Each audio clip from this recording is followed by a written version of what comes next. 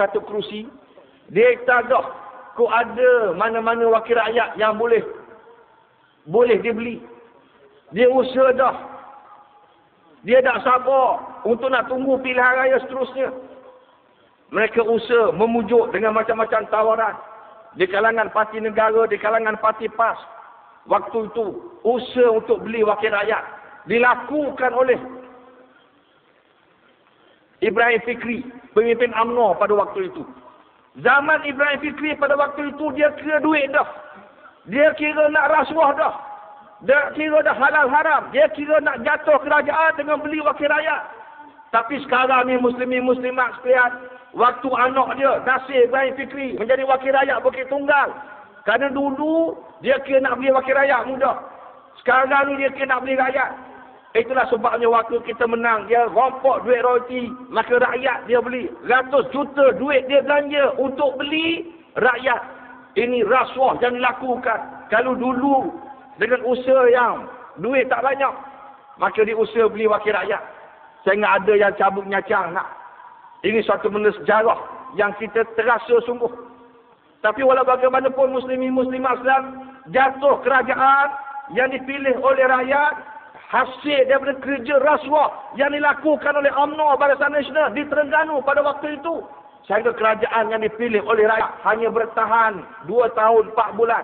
Tahun 61 jatuh dengan usul undi tidak percaya hasil daripada kerja jahat pengkhianatan rasuah yang dilakukan oleh pemimpin UMNO pada waktu itu UMNO perikatan tumbang kerajaan PAS yang pertama dan untuk kita meyakinkan balik rakyat kita bina akidah perjuangan di kalangan pimpinan di bawah kepimpinan ulama kita ambil masa 40 tahun sejak kita menang tahun 59 tahun 99 40 tahun kemudian barulah rakyat beri keyakinan semula kepada kita untuk memenangi dan memerintah menjadi kerajaan di Terengganu. Tapi mereka tak apa hati. Mereka nak beli wakil rakyat, tak boleh beli dah. Mereka tahu dah, bukan senang nak beli wakil rakyat. Tapi akhirnya dia tahu rakyat masih lagi boleh dirasuah. Mereka bertekad, mereka tak kira dosa pahala. Mereka rampas duit royalty, khianat kepada negeri, khianat kepada rakyat. Akhirnya dengan duit, dengan duit itulah mereka beli rakyat. Habis termasuklah penagih-penagih dadah, peserta-peserta rancangan Felda. Mana hak boleh dia beli, dia beli. Dengan bagi 200, 300, 400, 500 orang. Bagi memastikan rakyat ini boleh dia beli dan dia rasuah sehingga mereka berjaya untuk mengambil balik kerajaan pada tahun pilihan raya 2004 yang baru lalu, tahun lepas. Jadi muslimin muslimat sekalian, kerja rasuah ni daripada dulu sampai sekarang. Sampai sekarang. Kita sama-sama rakyat Terengganu. Sampai boleh dirasuahkan. Oleh kerana UMNO dia tahu dah taktik yang dia buat kan umpan dan ugut. Ugut dan umpan. Mana hak jaya boleh dia ugut, dia ugut. Macam-macam ugutan dia buat.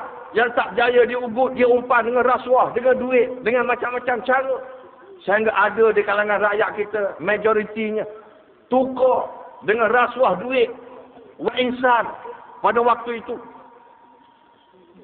Di mana maruah dan harga diri kita. Ini suatu penyakit yang cukup bahaya kalau kita biarkan muslimin muslimat sekalian. Berterusan dalam keadaan apa yang diajar oleh UMNO, maka kita bimbang. Sekarang baru kita terasa. Padankah dengan rasuah duit 2-300 ringgit. Dengan keadaan yang ada sekarang ini. Dengan kesusahan yang kita timpa sekarang ini. Dengan kezaliman yang dilakukan oleh UMNO Barisan Nasional sekarang ini.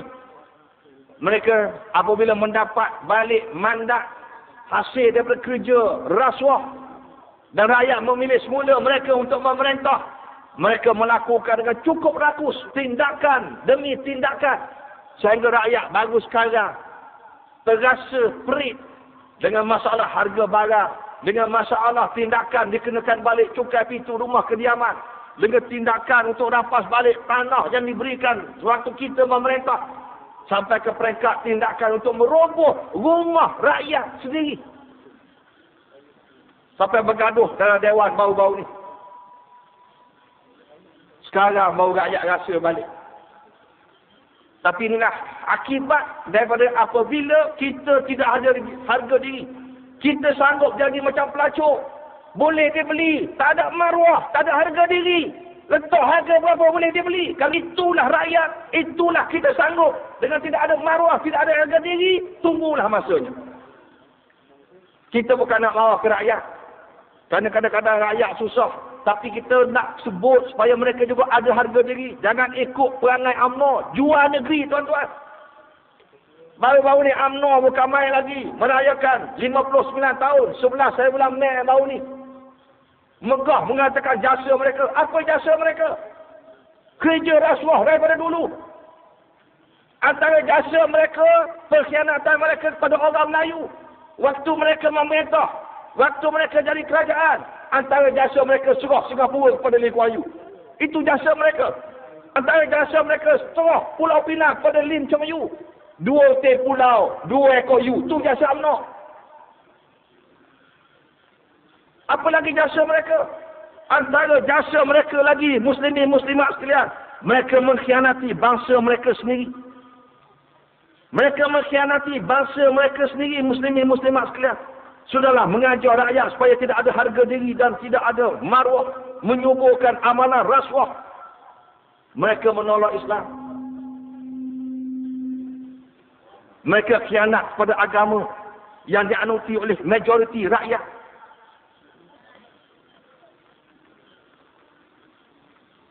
Mereka menyekat bantuan kepada sekolah agama rakyat. Mereka mengabaikan bahasa Melayu, bahasa Melayu itu sendiri. Mereka hapus tulisan jawi. Dan mereka juga mau menghapuskan ajaran agama di sekolah. Sekolah kebangsaan sekarang ini pun. Ajaran agama pun sekarang ini. Dalam keadaan yang tidak selesa. Kalau nak ikut jasa yang dilakukan oleh UMNO saat nasional, yang dikatakan jasa kepada orang Melayu, muslimin muslimat sekalian, antara pengkhianatan besar yang dilakukan selain daripada satu demi satu tanah orang Melayu terlepas tetapi pengkhianatan terhadap agama Islam itu sendiri. Mereka lah yang kita harap sebagai pemerintah untuk jaga syiar Islam, jaga akidah umat Islam, jaga akhlak umat Islam, jaga syariah undang-undang Islam. Tapi mereka lah pengkhianat kepada rakyat mereka sendiri yang beragama Islam. Sepanjang 59 tahun UMNO tubuh.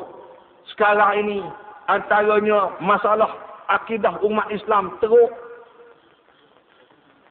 Beribu sekarang ini murtad. Tidak ada peraturan kerajaan negeri-negeri lain untuk meminda memertabakkan undang-undang untuk menyekat peristiwa murtad di kalangan rakyat. Termasuklah kita masih ingat lagi apa yang berlaku kepada Aisyah Bukhari di Johor, anak Pak Imam yang murtad kerana kahwin dengan Cina Kristian. Kita masih ingat lagi dengan peristiwa Hartina Kamarudin yang murtad di Perak bila berkahwin dengan India Hindu. Baru-baru ni Lina Joy. Nama dia Haslina binti Johari. Lina Joy. Dia murtad. Bila keluarga dia bawa kes ke mahkamah sibuk. Akhirnya mahkamah sibuk tolak ke mahkamah syariah. Kerana ianya katanya tidak ada kuasa. Tapi bila pergi ke mahkamah syariah. Mahkamah menyatakan mereka tak boleh buat apa-apa. Kerana dia telah murtad dan bukan lagi orang Islam. Masalah murtad. Begitu juga dengan masalah akhlak. Mendidik akhlak untuk nak jaga akhlak rakyat. Akhlak mereka pun tunggal langgar muslimin muslimah sekalian. Baru-baru ni dalam suasana kita merayakan maulid Rasul. Kita sambut. Memperingati hari kelahiran junjungan besar kita Nabi Muhammad sallallahu alaihi wasallam. Seluruh umat Islam, seluruh negara. Macam-macam sambutan dia buat sempurna dengan maulid Rasul. Tapi UMNO buat perayaan, panggil Ino, panggil penyanyi gelek, panggil penyanyi, apa nama ni, goyang, gelek, gerudi. Sehinggakan kerja untuk mereka lakukan bagi merosakkan akhlak muda-mudi berterusan dilakukan sampai sekarang. Goyang, gelek, grudi. Saya dah tahu, tuan-tuan tahu tak grudi ni apa. Saya kapung, kalau kapung saya jumpa dengan tukar, dia tahu grudi ni putar rela dia kata. Putar rela. Tapi inilah yang dibawa oleh UMNO muslimin muslimat sekalian. Bagi merosakkan akhlak rakyat dan kita dapati sekarang ini masalah akhlak anak muda begitu teruk di seluruh negara termasuk di sekolah-sekolah akhlak pelajar-pelajar kita teruk tapi bagi mereka mereka tak kisah apa nak jadi kepada rakyat. Adakah mereka murtad? Mereka rosak akhlak dengan masalah dadah dan gejala sosial? Asalkan mereka ini menyokong UMNO mereka tak kisah. Daripada mereka mengaji agama daripada beri bantuan sekolah agama, daripada beri bantuan untuk menyambungkan pelajaran agama, daripada terus mereka ini faham Islam, gerti agama, daripada gerti agama, akhirnya jadi orang baik, sokong perjuangan Islam, sokong parti pak, lebih baik mereka rosak, mereka jahanam, mereka punuh, akhlak tunggal langgar, asal mereka sokong UMNO. Ini UMNO muslimin muslimat sekalian. Dan itulah sebabnya di Terengganu, sekolah agama, sekolah rendah serak, sekolah rendah agama bersepadu, mereka sekarang usaha nak tutup bantuan zakat untuk pelajar-pelajar agama anak negeri Terengganu di luar negara telah pun diberhentikan. Jadi itulah sebabnya kita tak boleh nak harap kepada UMNO. Sama ada di peringkat pusat ataupun di peringkat negeri. Jadi oleh demikian muslimin muslimat sekalian kita harap biarlah suasana yang ada sekarang ini memberi kesedaran kepada kita. Walaupun UMNO dengan menyatakan mereka ini megah menyambut ulang tahun yang ke-59 mereka kata mereka banyak bakti. Tapi setelah mereka memerintah begitu lama. Hasilnya kita tengok sendiri. Tak boleh nak harap untuk nak bela agama. UMNO tak boleh nak harap untuk nak bela umat Melayu. Nak bela bangsa mereka sendiri. Malah di Terengganu. Mereka khianat pada negeri dan rakyat mereka sendiri. Jadi mudah-mudahan program ceramah yang kita anjurkan ini memberi kesempatan kepada kita untuk mendengar isu-isu dan kita kupas dan kita analisa menurut perspektif dan pandangan Islam supaya kita umat Islam dapat membuat pilihan yang tepat dan kita tidak terlibat dengan perancangan khianat UMNO untuk merosakkan negara, negeri, rakyat dan akidah serta agama yang kita anuti. Jadi saya rasa sekadar itulah selaku, selaku mukadimah pada ceramah kita pada malam ini. Saya kita beri kesempatan yang panjang pada penceramah jemputan kita untuk mengupas walaupun dalam suasana hujan. Kita harap insyaAllah kita masih mampu mendengar kupasan-kupasan untuk menjadikan renungan kita bagi manfaat kita bersama insyaAllah. Jadi saya rasa sekadar itulah dapat saya katakan. Wabillahi taufiq. Wassalamualaikum warahmatullahi taala wabarakatuh. Allahu Akbar.